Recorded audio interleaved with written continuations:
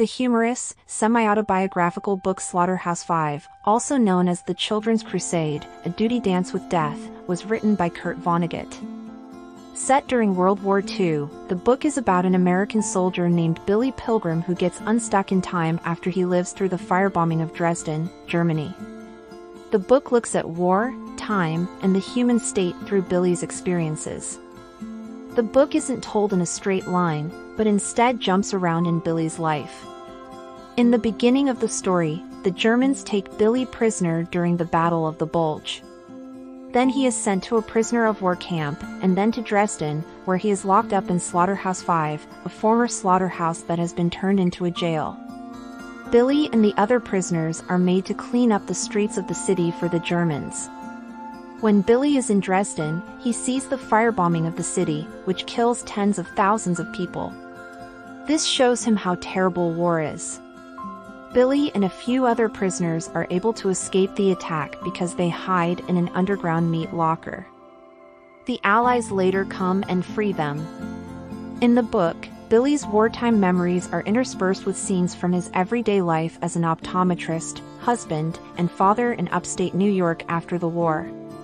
These texts show how the war has changed Billy so much that he is haunted by his memories and can't fully live his life.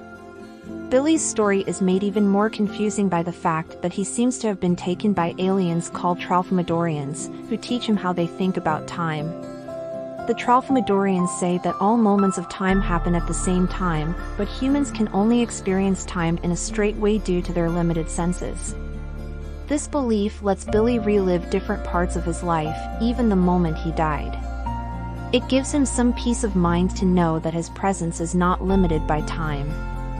Slaughterhouse 5 is a strong anti-war book that uses comedy and dark humor to show how stupid and destructive war is.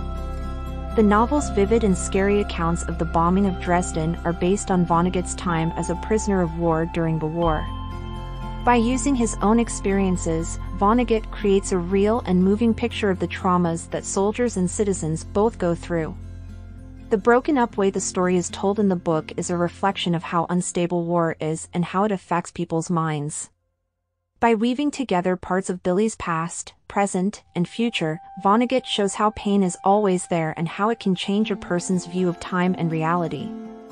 The Tralfamadorian idea of time, which says that all moments happen at the same time, is a strong metaphor for how war's effects last for a long time.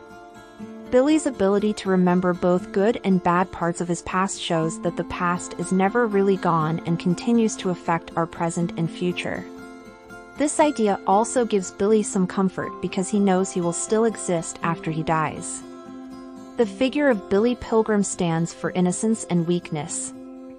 His unwillingness to fight in the war, along with his general incompetence and naivete, show how random violence is and how pointless war is. Also, his problems with PTSD after the war and his growing distance from the people around him show how war can hurt people's minds for a long time. Vonnegut shows how both troops and civilians lose their humanity and have their lives destroyed by war through Billy's experiences. Slaughterhouse 5 also looks at the idea of free will and how much power each person has over his or her own life.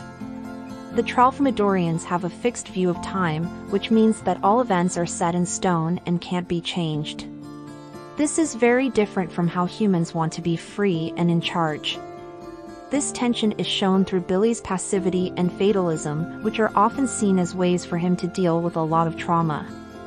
By putting the fatalistic worldview of the Tralfamadorians next to the human fight for freedom, Vonnegut makes us think about the nature of existence and the role of free will in shaping our lives.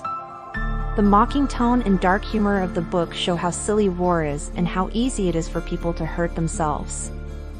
Vonnegut uses irony and hyperbole, among other literary devices, to show how silly many things about war are, such as the way it glorifies violence and how blind pride often leads to conflict. Through this satirical view, the book makes a strong point about how pointless and useless war is.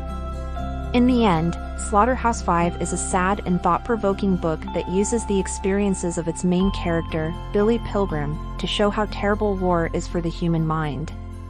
Vonnegut's unique way of telling stories, which includes satire, black humor, and a nonlinear structure, shows how ridiculous war is and how it leaves people with lasting pain.